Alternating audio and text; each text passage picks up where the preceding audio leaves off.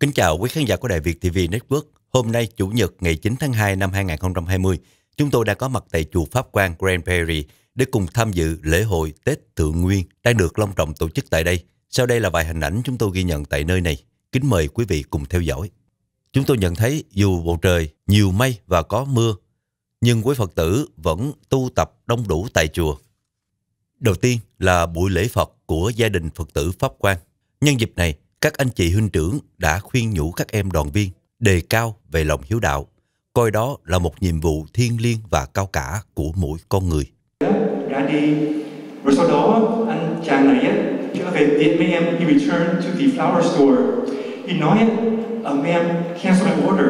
Okay he nói là I cancel the order của him instead he, he bought a huge bouquet of yellow bright yellow flowers which is mom like instead of having delivered to the house he took that bouquet of flowers to his mom's house personally Okay, mấy em, nhiều lúc chúng ta bận á, we're busy with school, with work, with friends, mình quên ba mình, mẹ mình. Okay, we take that for granted. Ngày rằm tháng Giêng còn có tên gọi khác là Tết Nguyên Tiêu, Tết Thượng Nguyên.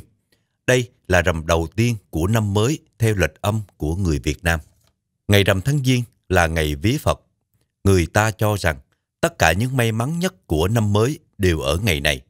Vì thế, đối với người theo đạo Phật, trừ ngày mùng 1 Tết, thì đây là ngày lễ đầu tiên trong năm.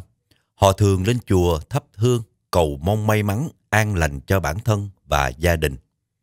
Rằm tháng Giêng chính là ngày rằm đầu tiên của tổ tiên, dòng họ trong năm mới. Vào ngày này, người Việt thường đi lễ chùa và làm mâm cơm cúng dâng lên tổ tiên bày tỏ lòng biết ơn, trân trọng với người đã khuất và mong một năm mới an lành, may mắn. Ngày rằm tháng Giêng, Tết Nguyên Tiêu còn được coi là Tết muộn vì diễn ra ngay sau Tết Nguyên Đán là cơ hội để đoàn viên với gia đình nào không may có người thân bị ốm, đi vắng vào đúng dịp Tết Nguyên Đán. Rằm tháng Giêng tại một số nước châu Á được xem là ngày Đức Phật giáng lâm tại các chùa. Với một số nhà tâm linh, ngày này còn là ngày vía thiên quan, nên các đền chùa làm lễ cầu an, dân sao giải trừ tai ách cho năm mới. Chính vì vậy, từ sau Tết Nguyên Đán, ngày 14 hoặc 9 rằm, người dân thường tấp nập đến chùa lễ Phật, cầu bình an, khỏe mạnh, hạnh phúc cho cả năm. Ngày rằm tháng Giêng rơi vào mùa xuân, theo quan niệm dân gian, tượng trưng cho sự phát triển, sinh sôi. Bởi vậy, ngày này được người dân coi trọng, gửi gắm vào đó nhiều mong ước về một năm thuận hòa, sung túc. Câu nói cúng cả năm không bằng rằm tháng giêng nhằm nhấn mạnh ý nghĩa và tầm quan trọng của ngày này. Theo quan niệm của người Việt, phàm làm bất kỳ điều gì, hễ đầu xuôi thì đuôi lọt.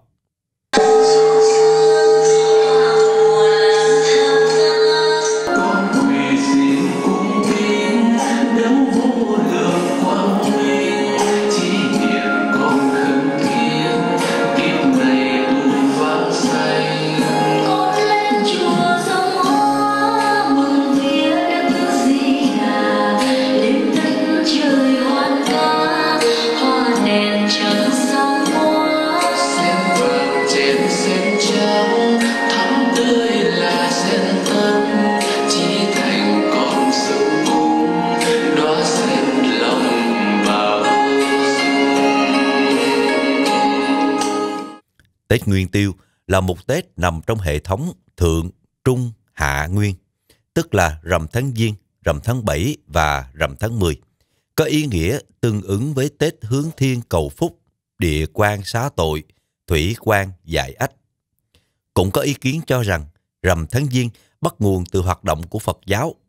Vào ngày này, các chư tăng tập trung đông đủ để nghe Phật thuyết pháp. Trăng tròn đầu tiên cho một năm tốt lành. Rằm tháng Giêng là rằm khởi đầu của năm, thích hợp với việc ước nguyện điều lành. Rằm tháng Giêng không phải là lễ quan trọng của Phật giáo so với rằm tháng Tư là Phật đản, hoặc rằm tháng 7 là lễ Vu Lan, nhưng trùng hợp với lễ Thượng Nguyên và Tết Nguyên Đán trong dân gian. Đồng thời, ngày này là rằm đầu tiên của năm mới.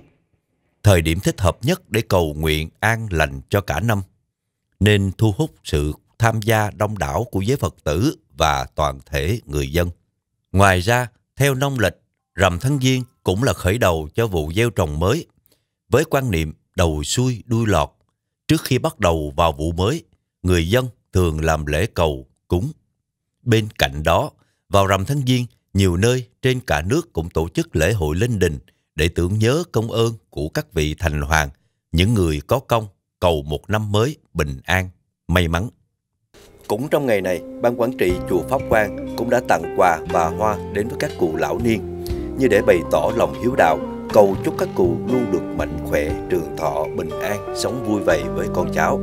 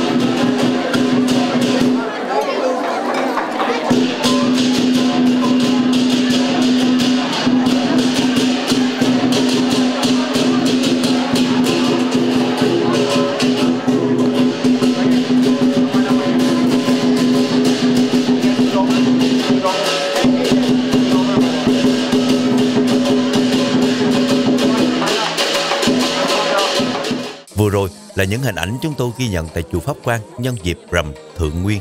Thay mặt đài Việt TV Network, xin kính chúc quý Phật tử một năm mới an lành, hạnh phúc. Chúc quý anh chị huynh trưởng sức khỏe dồi dào, tinh thần tinh tấn để dìu dắt các em đoàn sinh ngày một vững chãi hơn trên con đường hoa sen trắng. Chúng tôi tường trình tại Cranberry, Texas.